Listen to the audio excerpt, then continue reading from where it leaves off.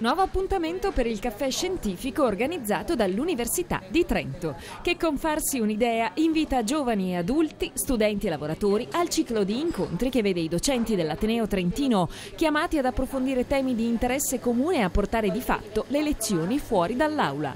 Dopo l'esordio fortunato del professor Marco Ronchetti, che ha dato il via alla stagione 2011 di farsi un'idea parlando di lavagne multimediali, a scendere dalla cattedra per sedersi a un tavolino del bar città di Trento tra un cappuccio e uno spritz sarà il collega Alessandro Quattrone, professore ordinario alla Facoltà di Scienze. A lui toccherà approfondire un tema molto sentito, quello delle nuove frontiere della medicina personalizzata. L'appuntamento, come sempre, è giovedì alle 17 al bar di Piazza Battisti o Piazza Italia che dir si voglia. Tra dubbi e curiosità sollevate dall'uditorio si spazierà dall'investigazione delle basi biologiche delle malattie alla cosiddetta era genomica, dalla modificazione degli approcci terapeutici alle nuove frontiere della pratica clinica. Ma sentiamo direttamente dal docente che condurrà il dibattito informale, allargato a chiunque voglia partecipare, qualche anticipazione sul tema del secondo caffè scientifico. Professor Quattrone, qual è la scoperta scientifica che ha rivoluzionato la biologia e aperto nuove strade allo studio delle malattie? Direi senza dubbio che si tratta della decifrazione del genoma umano.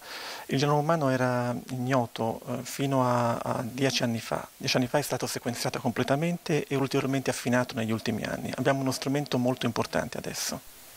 Questo scenario ha aperto appunto le strade alla medicina personalizzata. Cosa si intende? Sì, il concetto di medicina personalizzata precede in realtà quello, appunto, questo pietra miliare della, della ricerca biomedica. Ehm, si intende la possibilità di realizzare delle terapie su base individuale e l'individualità, eh, in questo caso è proprio l'individualità genomica, la differenza nella sequenza del genoma, eh, la quale determina in qualche misura la risposta ai farmaci. Concretamente per il paziente che cosa cambierà? Cambierà eh, la possibilità di avere appunto un trattamento eh, che dovrebbe realizzare una minore tossicità dei farmaci. I farmaci sono per loro stessa natura inevitabilmente anche, eh, anche tossici, oltre che curativi, e proprio perché la, la, il metabolismo degli stessi ha base eh, individuale, ha base genomica e quindi riusciremo a dosare meglio eh, i farmaci. Per arrivare invece a delle molecole, su base personalizzata, eh, questo richiederà molto più tempo e molto più studio. Le terapie su base genomica andranno anche a incidere sul triste divario tra popolazioni ricche e popolazioni impoverite rispetto all'accesso alle cure?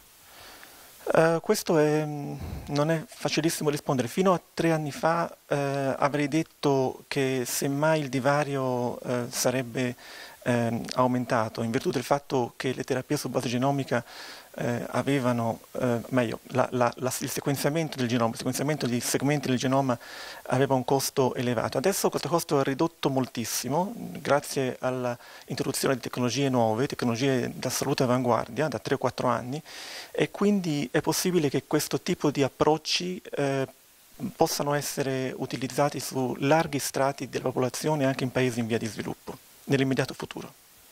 Il vostro centro di ricerca di biologia integrata è impegnato sul fronte di un particolare tumore che colpisce i bimbi. Ce ne vuole parlare?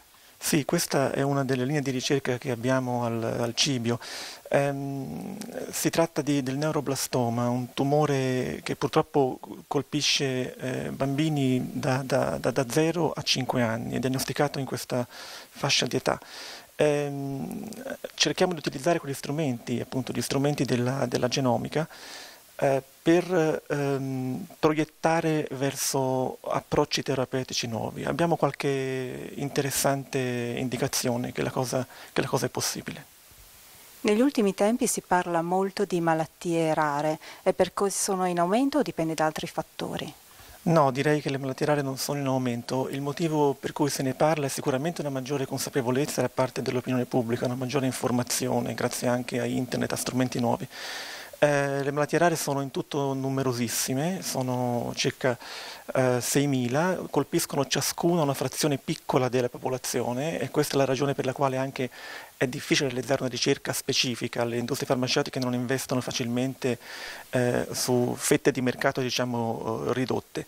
Ehm, purtroppo le malattie rare sono a base genetica, come si dice, mendeliana, cioè la lesione di un singolo gene eh, e non abbiamo strumenti ancora di terapia importanti. La terapia genica potrebbe essere l'unico forse per ora eh, strumento realmente efficace, ma non, non riusciamo a farla funzionare in modo adeguato.